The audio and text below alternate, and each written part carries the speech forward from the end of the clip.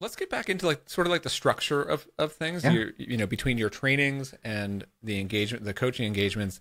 I'm curious to know like maybe in the in the last couple of months or last couple of years, what kind of changes have you have you made or things that you've learned about how you you deliver your services Yes. that that have been like you know maybe turning points and and and you know things really started to work out well or, or like you know just a lot smoother once you made these changes in your approach Yeah, thanks. like I, that. I think um, uh, the, a combination of both synchronous and asynchronous has become a Mm-hmm. lot more apparent to me, um, right? Because from a training perspective, I was always doing things synchronously, and I found ways to do it a little bit more asynchronously. But I think the the interesting concept that has come up um, is is that when I was coaching people a couple years ago, I was often traveling to their their site.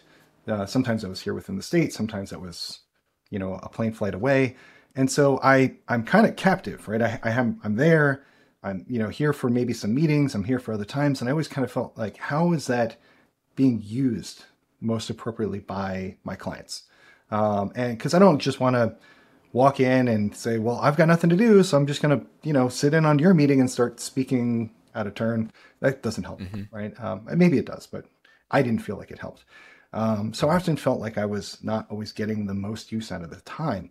Um, so I'd start doing more asynchronous kind of things. So usually it was just email at the time, right? Um, so what can we do in that kind of way?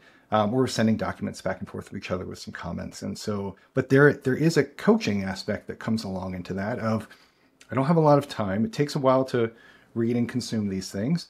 Um, so let me go and put that out and then see what how that sits with somebody. Sometimes it takes them a day or two to figure it out, and then they come back. But you know, the ball's kind of back in their court, and when you're doing coaching, that's really powerful. And um, going virtual, that I've felt even more of that, right? Because to sit in on somebody else's meeting in their company for two hours virtually, um, you know, do I do I interrupt and take over everyone's time? You know, how much do I just consume and report back later? And sometimes it's really valuable, right? If if the structure is focused on, hey, we're here to leverage Rich and some of his um, understanding of what he he sees uh, based off of what's going on around us, or to leverage his expertise, do that. But then the rest of it is it's better when it's kind of ad hoc because then people can go and do their work, and when they see the issue come up, right, you know, and uh, we Yeah. respond in time. Yeah, I mean, and, and it's, I, I can imagine that it's so um, dependent on. So if you're doing a live session, especially in person Mhm. on site, it's so dependent on kind of what's going on that day, and you know maybe the the stakeholders involved they, they might be having a great day, they might be having an off day. You know, you don't like, um, are they are they busy? Is their mind somewhere else? Um, whereas with asynchronous, it you know what I, I i keep trying to verbalize this in different ways but i of course it's more convenient. You can deal with time zones. You can have more space. But to me it's more about the freedom and the space to consume and think and research and prepare your next response. Yeah.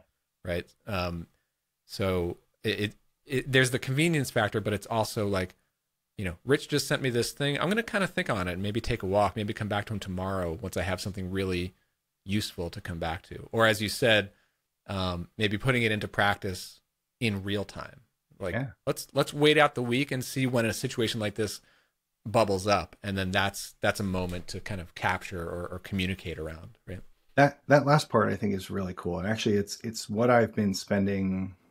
I'd say more of my time than less over the past three years doing. Um, I was trying to help Scrum.org establish a program in late 2018, 2019, and then we started really going into it in earnest in 2020 uh, about like could we validate the working proficiency of Scrum Masters that we didn't actually work with, because there's Scrum Master or Scrum.org has a lot of assessment-based certifications, knowledge type things of um, how would you answer these questions. That tells us that you know enough about Scrum to be able to, you know, be a, a pretty competent Scrum Master. But how have you done it is a totally different thing. And we started with a lot of synchronous discussions, right? Of just um, asking questions, trying to see what they're doing, learning more about it, kind of getting a sense for, yeah, you seem pretty good here, but I'm not so sure. So let me let me ask you some things to go do to prove to me that the things I thought you were good at, you're actually good at.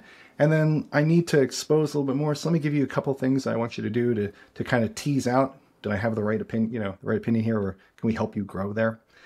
Um, and what became clear over time is sort of that almost like a front loading of an asynchronous conversation that let's have a synchronous conversation to say to talk about outcomes and where we might want to go in a relationship mm-hmm. and then say hey i think here's like four things that you should consider looking at and working on when the time's right right yep. and so it, it's not even so much of a that constant delay response but it's really a here's something for you for that when you're ready and you come back to it. Like you just said let's see let's get our team to go through this for the week and then come back and say oh wow yeah actually this really helped. And but you need to reflect it with somebody right? You need to get that that feedback loop closed to say did i did i really see that this was as good as it was? And telling that story then back to a coach right? Uh, so that they can help right. you see more in that story is immensely valuable for like that deeper level of growth yeah and and also kind of like getting it when it's fresh right like this just yeah. happened this morning let me let me tell you about it rather than trying to remember back something that might have happened weeks ago. And yeah, for like the next live coaching session kind of thing. It's like, no, no, no, no, no. Just just tell me now. Record yourself, mm-hmm. right? Write it down, whatever it needs to be, just so you've got that kind of the evidence captured of what yeah. happened and you're ready to go and and build upon that evidence in the future. Hey, just a quick break to tell you about Clarity Flow.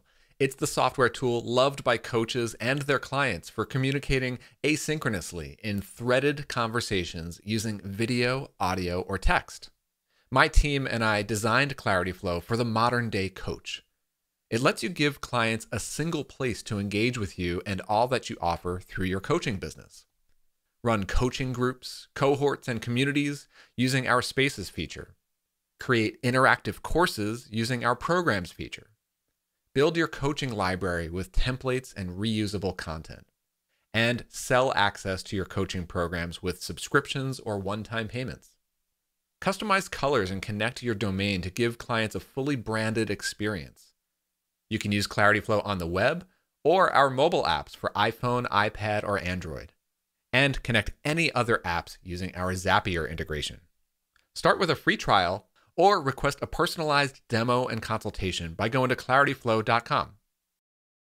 And then the other side of the coin, of course, is is you, right? Like how are you managing your time and how like how has that changed as as you as you mentioned, like you recent years that you've obviously moved to a lot more virtual. Yeah. Um, and this move toward uh, kind of a, a hybrid between the the sync, the live calls and the asynchronous stuff. What does that look like on your end? How are you receiving messages in your inbox? How do you uh, manage your day and your time? Um, because I, I think that's another thing from a lot of coaches who are sort of new to the idea of incorporating asynchronous aspects into their into their practice. It can seem like, well, now you're opening yourself up to just a barrage of requests and messages. And um, how do you sort of manage that? Um, I'm. I'll admit I'm still getting better at it. uh, but I, I think um, what's helped me, honestly, just being independent from the past seven years, I, have learned how to manage my time, right? How my time is my time, and and that's a really important thing to me. Um, and I think that that maybe looks different for, like I said, some new coaches. Um, or or internal coaches uh, if you're doing work mm-hmm. inside of an organization and, and you are like a full-time job kind of thing but even then are, are you are you really doing like work with other people full time or are you sometimes reading trying to to gather you know new information for yourself that might help you uh, or go to workshops you know to help you uh, work with others. So so i do a little bit of that every week right? I'm i'm reading various articles. I'm going through books that i've read before just to get a new sense of context. Um, i'm trying to go to different workshops. Uh, but from the the flow the incoming flow um, something that i've experimented with uh, is not just respond immediately right? Because um, it is asynchronous, right? And the world expects instant gratification on a lot of things, and I try to temper that readily by saying, mm-hmm. you know, um, uh, by either giving uh, like a service level expectation to say, hey, you know, about eighty percent of the time I respond within two days, right? So, but sometimes I'm I'm on vacation or I'm just I'm in a class or I'm busy doing something. So it it's not always, but you'll probably see a response from me in about two days.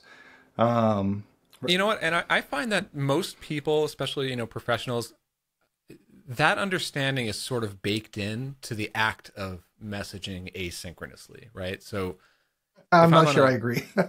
I mean, of, of, course, there you know there are different cases, but I mean, for example, um, customer support, right? If I if I'm using a product and I need customer support, a lot of these companies are offering like live chat, and this is just a pet peeve of, of mine where it's like if you're offering live chat, I actually want it to be live. Like if I send a message, I would like a, a response back like within minutes because you're telling me it's it's a live chat. But in my experience, like I generally don't even want to use live chat. I would much prefer an asynchronous option where I can submit a message or send send a message, send an email, submit a form. And I know that by sending that, like I can move on with my day and I'll expect a, a response within a business day or or two. Yeah. You know, um, I, I, don't know. I, I mean, I, I, guess like different clients uh, handle this differently, but I guess just yeah. the nature of it, it's like you're you're not there live face to face. It is asynchronous, right? So. Well, and and I think that that's another thing that um, that a coach or any consultant should be doing with a client when they're going to engage with them, right? It, mm-hmm. Is starting to set up, you know, um, one just what what do we agree upon who's really owning what kinds of things? Um, what is our expectation for just sharing information communication right? Because like these are these are just some core contracts that help us communicate better not they're, they're there to provide just enough boundaries to make it more effective right?